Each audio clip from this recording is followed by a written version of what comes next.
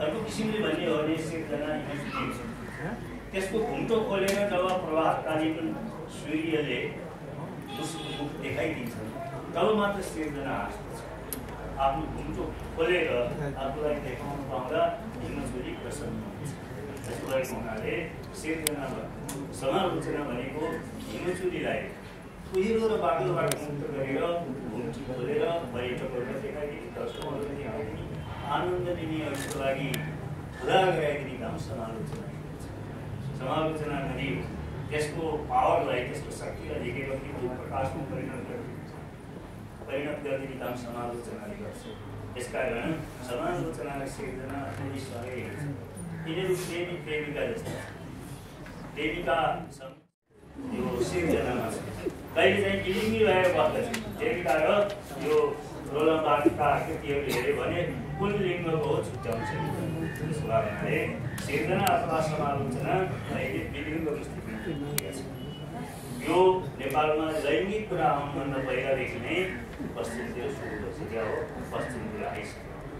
त्यसकारण समालोचनाको काम के हो त सिर्जनालाई चिटिक्क पारेर देखायो अथवा सिर्जनासँग रिस उठ्या छ भने त्यो कुरा? प्रेमी प्रेमिकाहरू जहिले पनि कहिले कहिले प्रेमिका अगाडि बढ्छ कहिले प्रेमी अगाडि प्रेमी पछाडि पर्छ कहिले सिर्जना अगाडि पर्छ प्रेमिका अगाडि। यसरी यिनीहरूको सनातन बन्द छ यिनीहरूका बिच नखक्षक र दन्तक्षकहरू छ यिनीहरूमा हुर्क्याउने प्रवृत्ति पनि हुन्छ। यी सबै प्रवृत्तिलाई समेट्नको लागि सिर्जना पनि चाहिन्छ समालोचना पनि चाहिन्छ। यी अस्तित्व जबसम्म हुँदैन तबसम्म संस्कृतिको विकास हाम्रो जीवनको रूपान्तरण सम्भव हुँदैन हामीहरू अगाडि बढ्न सक्दैन। यो कुरोलाई छोडेर म अब अर्को कुरो भन्न चाहन्छु कि हामीहरू जम्मै साहित्यिक समुदाय भनेको अन्धकारका विरुद्ध लड्न तत्पर भएको हाम्रो समुदाय। नेपालमा सबभन्दा खराबी के हो भनेर भन्ने हो भने अन्धाहरूको सङ्ख्या बढ्यो अर्थात् धृतराष्ट्रहरू भयो त्यसको भएको हुनाले हामीहरू अन्धकारका विरुद्ध लड्न पहिला महाभारत युगमा धृतराष्ट्र थियो। तिनको विरुद्ध लड्नको लागि तिनको तिनलाई सोझ्याउनको लागि तिनीहरूले धेरै कृष्णले सञ्जय मार्फत मेसेज पनि पठाएका आखिर केही नलागेर एउटा तन्जी लिएर अर्जुनलाई उठाइएको थियो यहाँबाट के कुरा बुझ्नुपर्छ हाम्रो यहाँ परम ज्ञानी विद्युती उपस्थित हुनुहुन्छ।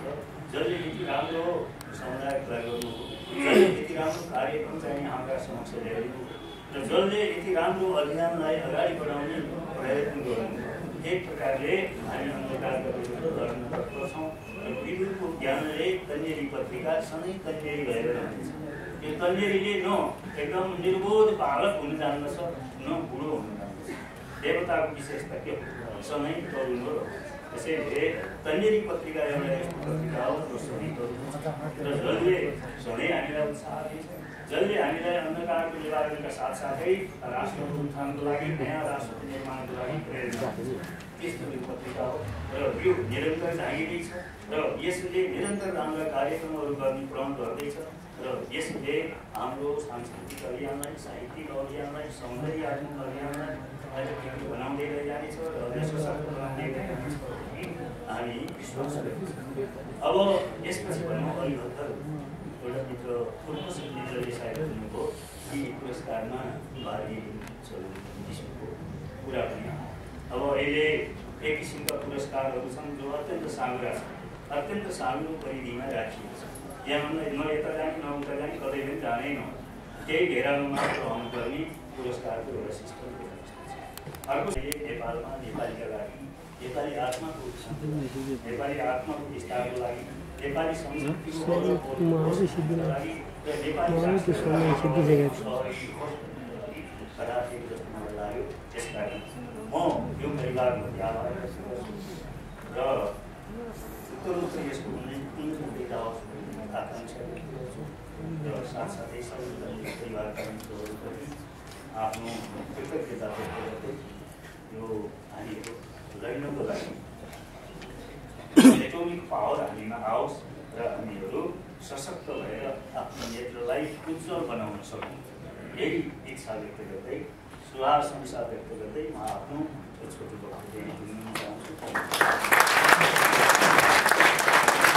धन्यवाद। सम्मानित व्यक्तित्व प्राध्यापक